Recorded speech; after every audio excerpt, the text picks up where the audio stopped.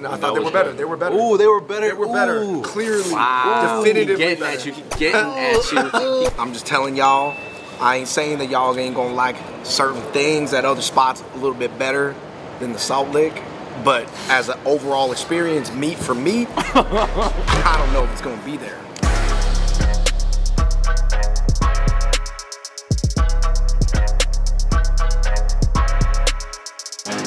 What's going on, everybody? We're here at the Dallas airport in Texas, and you know barbecue is world famous in Texas, so we had to come here and before our flight, try all of the most famous smokehouses here at the Dallas airport.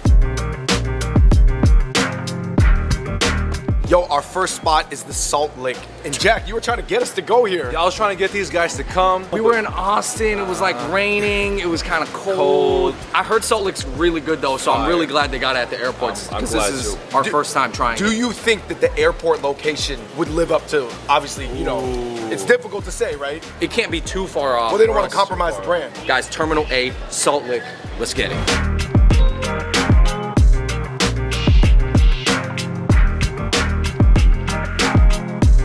All right, so we got our barbecue plates. David, tell the people what we have. We got the pork ribs, we've got the sausage, we've got the brisket, and the pulled pork. Ooh, and then some seasoned fries. You have the coleslaw and Potato salad. Potato. You guys, we are in Texas. We've got to start with the brisket. Let's go. do it. And I will say this: the service at Salt Lick was amazing. They were very, very nice. Jack, you were getting fed. I'm getting fed. All right, guys, this is brisket at Salt Lick. Ooh, look. Ooh. Wow. No, that was pretty good. I mean, generally, you think the chains at the airport they're not going to do as good of a job, and obviously, I don't know how it tastes at Salt Lick in Austin, but it was amazing. Pork ribs. The flavor is really good.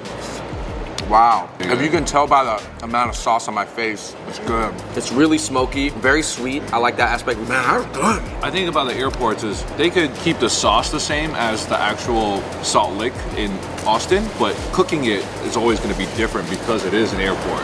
Sausage. I like the skin, the exterior. Yeah, I w- it was very juicy, very fatty on the inside. I could see when I was biting into the sausage, it was kind of like melting my mouth. I wouldn't say it blew me That was away. more similar to a Polish sausage. I felt like at Micklethwait, that was more of that Czech, like grainy ah, sausage. Pulled pulled pork. Mm. Mm. Wow, It looked dry. that was surprising. You know what it is? They don't call it the Salt Lick for no reason because the salt and pepper flavor is really pronounced on everything. All right, baked beans. Wow. No barbecue flavor, just straight. Elementary school cafeteria beans. I think it's gonna be tough to beat the Salt Lick on flavoring. I, I give this Salt Lick a four out of five. What, what was your, what was your guys' favorite? Most surprising was definitely the pulled pork. Obviously, I knew the brisket was going to be Yeah. pretty good. I knew the ribs were going to be pretty good, good. but the pulled pork. Yeah. Brisket is my favorite by far. Little curveball, the pepper flavor. Because the, the, that really was on everything.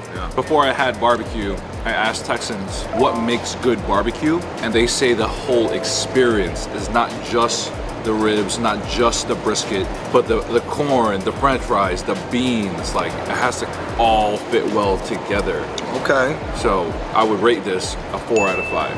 I, I got to leave a little bit of room for improvement, but I was pretty impressed. I'm going to give this a 4.5 out of 5. David, do you want to throw in a, a bit of a Texan accent to? uh, Okay. I'm just telling y'all, I ain't saying that y'all ain't gonna like certain things at other spots a little bit better than the Salt Lick, but as an overall experience, meat for meat, I don't know if it's gonna be there.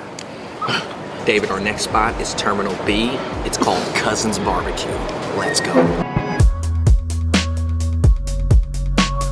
All right, you guys, we have boarded the DFW Skylink to Terminal B, where there's more BBQ. All you guys, we've arrived at spot number two, Terminal B, Cousins BBQ. You guys, this is local to Fort Worth. Yo, they do it a little different here. They're serving it cafeteria style. All right, all right. Let's check it out.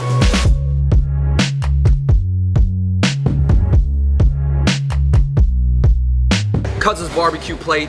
We got four meats. Usually they only give you three, but we had to get an extra quarter pound. Pork ribs, brisket, jalapeno cheese sausage, pulled pork, mac and cheese, and then The broccoli cheesy rice. So you know what's funny is growing up in Kent, we had this thing at school, at the school lunch, called cheesy rice, and I had no idea why they were eating that. Because I was Yo. like, how are you gonna serve cheesy rice at an American school? Because I'm eating rice at home. And everybody would make fun of the kids who wanted seconds on the cheesy rice. Right, maybe cheesy rice is a Texas thing. All right, guys, we got oh, just go in, man.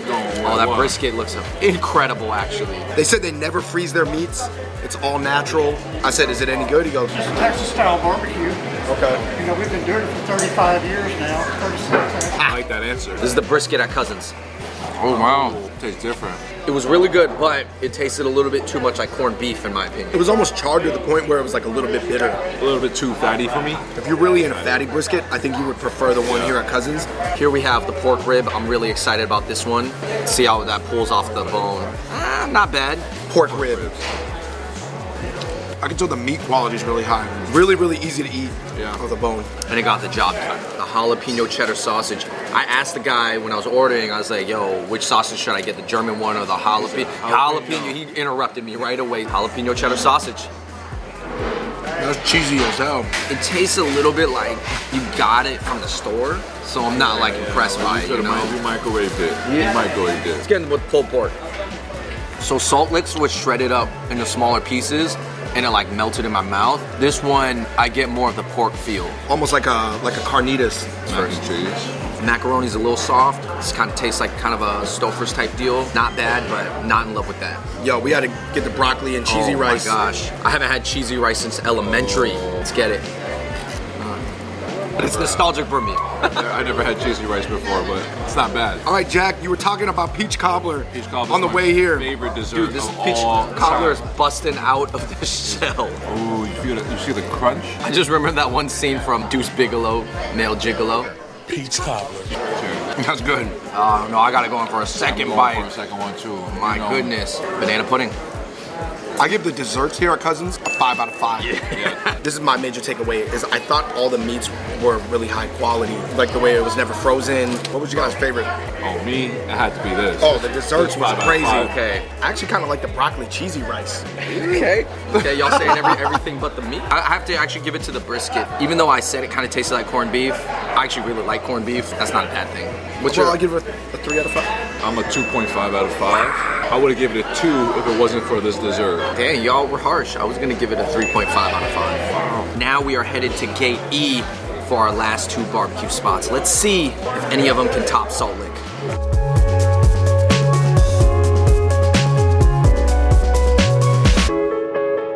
All right, so we've made it to Terminal E for Sonny Bryan Smokehouse. This spot was actually started in 1910. I read that from the sign, but it is actually from the Dallas, Texas, Fort Worth area. So this is like a local chain. I think the prices are like a little bit cheaper than Hey, the other ones. we are ones. in Terminal E. I mean, Yeah. it's where they fly Spirit. But I'm not gonna lie, Salt Lake was pretty expensive and it's progressively gotten a little cheaper. So I think we have to take that into consideration. Taken into consideration.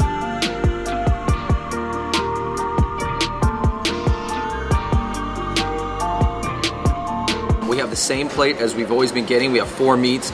We have the sliced brisket, we have the pulled pork, we have the pork sausage, and then we have the pork ribs here.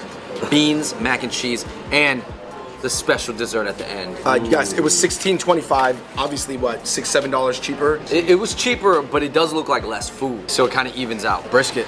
Nineteen ten. it, it, it kind of tastes how you imagine it would taste, honestly, at a gas station. Let's just move on. Um, let's do the pork rib. Let's see the pull test. Pull test is nice. Pork rib. That's a boiled rib, by the way. It was soft, easy to eat. Had like a light little pepper flavor to it. This actually looks pretty good. Juicy, not dry at all. Cut up in uh, nice small pieces. So pulled pork. So how tastes like the inside of a chashu bao. It does. A little bit. Yeah, you're talking about the sweet pork flavor. I guess extra points for that. Yeah. Yeah. All right, pork sausage, guys. Ooh, Not bad. I like that better than Cousins jalapeno cheddar one. Easily. This one actually, the I'm trying sausage, to think if I like it. the better. I'm trying sausage is think- shining. I'm actually trying to think if I like it better. than Salt Lake. Yeah, I might. It was juicier than You know Salt what? Lake. I do. Wow. Mac and cheese and beans. Go.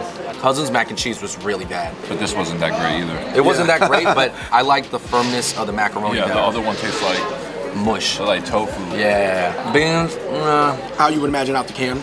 No bueno. Okay, the question is now for dessert. Oh yeah. We have peach cobbler a la mode. so it's like kind of warm, melting the ice cream. Obviously, I would say cousins set the bar pretty high for peach cobbler. So these pe- these slices of peaches are way bigger too. Not bad. It's no cousins, but I feel like I can make this. Overall, I give Sonny Bryant a two out of five. I give it a 2.5 out of 5. I think I'm at a one. I get why I've never heard this place, but By far, this definitely is ranking number 3 out of 3. On to the fourth spot.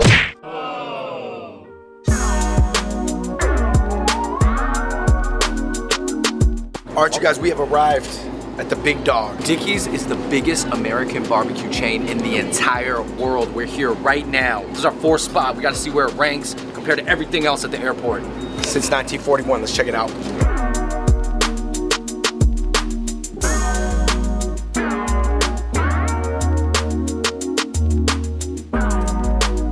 This is what allowed Dickey's to grow from one store to Five. 500. We have uh, two three meat plates here. We have the brisket, we have the pork rib, we have the pulled pork, we have a Polish sausage, we have the jalapeno cheddar sausage that we're gonna compare to cousins, and then you have the smoked turkey. I'm just saying that they gotta beat Sonny Bryant's. they better be. All right, guys. Sonny Bryan. Basically, uh, I will say right off the bat, this is a crumbly brisket. Yeah. There's nothing wrong with that, but it's not the floppy brisket that's sticking together.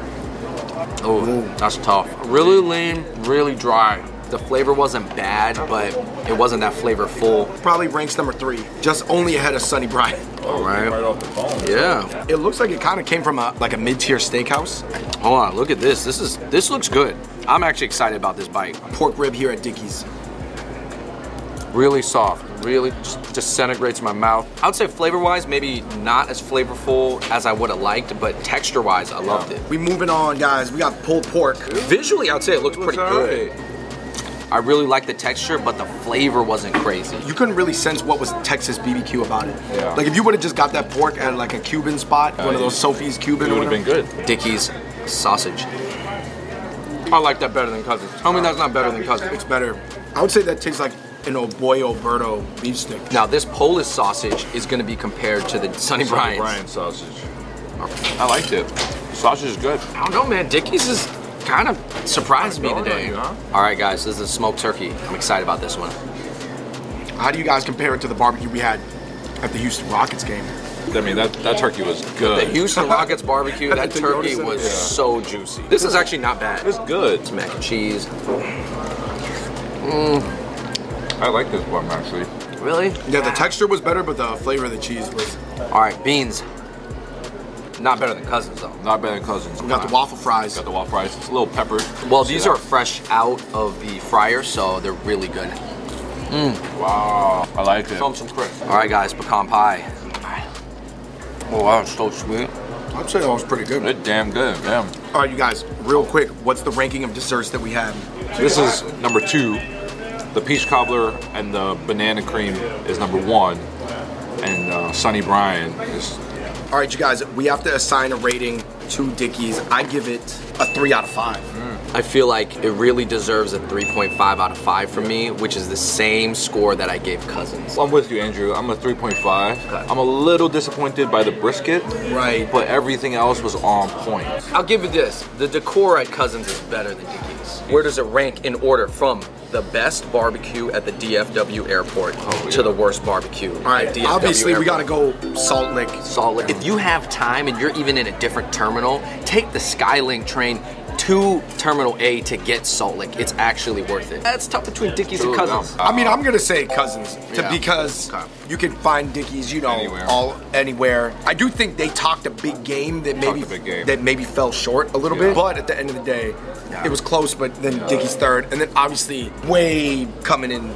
Yeah. Sonny Bryan. No, I agree. I agree. I would put Cousins a little bit over Dickey's. Just overall, the vibe was better. Um, I think they had more options there. They had the pepper sauce on the table. What did you guys like take away from trying four barbecue spots in a row? Because I know for myself, being from Seattle and then living in LA, barbecue is not a priority. I, I guess you kind of compare it to like Chinese food, right? Like you have some Chinese food made for a certain demographic, and then you had Chinese food made for a higher demographic. the way they kind of talk about it and argue about it, it's almost like our parents would argue over which spot had the best Peking duck, Yeah. or, yeah, or char siu. uh, steamed crabs. Yes. I want to ask you guys: Are you surprised by the desserts at the barbecue chains? Dude, I will tell you this, man. I don't know how much butter and sugar they pack into those things, but those are uh, delicious. Save some room for dessert, man. Get for real. the dessert. It Like, creates I- the whole experience. I, obviously, this video was about barbecue in the airport. We tried four different levels. You guys decide what's right for you. But I do want to end this since this was our last video in Texas. Yeah. Your favorite and your least favorite thing you had on the whole trip. Ooh. Well, least favorite, I already know what it is. Sunny Brine. Okay, we just ate it. All right. I was not really a big fan of Torchy's tacos. Oh, I was gonna say something from um, that first concession stands at NRG Stadium. Oh, at the Texans game. Okay. Some of that hot dog. Yeah, and then I would say the best thing that I ate, the uh, bone marrow for 4.95 at Pho 54. Oh, thinking of Nam Giao, there's two dishes that I'm really thinking about right now. It was one, the small crispy pancake, which was essentially the smaller version of the banh xeo, and then the pork and shrimp crystal dumpling. For me, I would say my favorite is we had the in the Texans game, Killen's, Bris- the, the brisket. Oh my god, I still remember that brisket.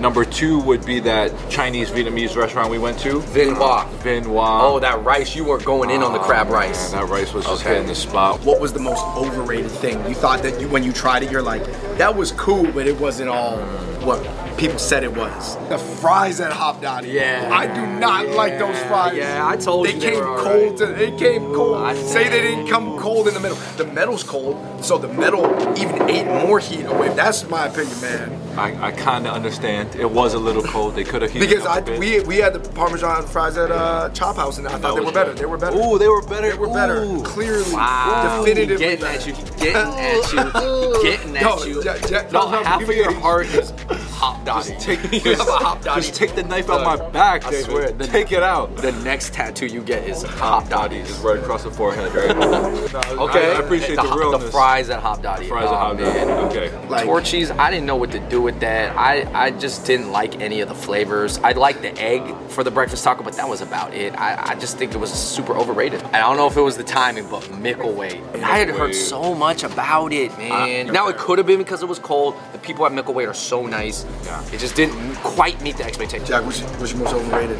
It's gonna be Mickle Because I, I the Torchy's tacos, I, I would eat it. I get it's not like super fancy. It's not like Trashy tacos. there was a lot of macros in it, a lot of protein, a lot of egg. That's the next one. Oh, yo, it's six in my macros. It's like six dollars for all that all that egg. We just had a lot of good food in Texas, man. Yeah, I think people don't expect there to be such good Asian food in Texas. Yeah. They really don't. Now, did we eat the best Korean food in Texas? No. Was it the best Chinese food? No. But Southeast Asian food in Texas, I think, is really, really good. All right, All right, you guys, thank you so much for watching our travels through Texas from Houston to Austin to Dallas. Now it's time to go home. I think I'm gonna talk to people more. Yeah. I don't know if it'll work. What do you mean in LA? Yeah, I mean, if enough people burn me, then I'll then retreat to my back. shell. Yeah. Until it wears off, we're bringing that Texas friendliness back. We were us. saying that we ran into not as many people in Texas, but we spoke to more people when we were here. All right, you guys, thank you so much for watching. Make sure you let us know what you thought of the whole trip in the comment section below, along with everything else. Just give it a like, subscribe, turn on your notifications. And until next time, we're out. Peace. Yo, what's going on, everybody? Just want to let you know we do have a brand new podcast called the A3N Podcast. We're talking about all types of stuff. We're gonna have all types of guests on the show. Obviously, if it's me and David, we're gonna get really deep and personal and real. Also, we have a highlights channel. If you guys don't want to listen to the whole entire podcast, there's gonna be like the highlight clips there that you guys can just check out. Check out the podcast on iTunes, Spotify, Himalaya, A3N Podcast Leave us a review and a like. and listen to it. Peace.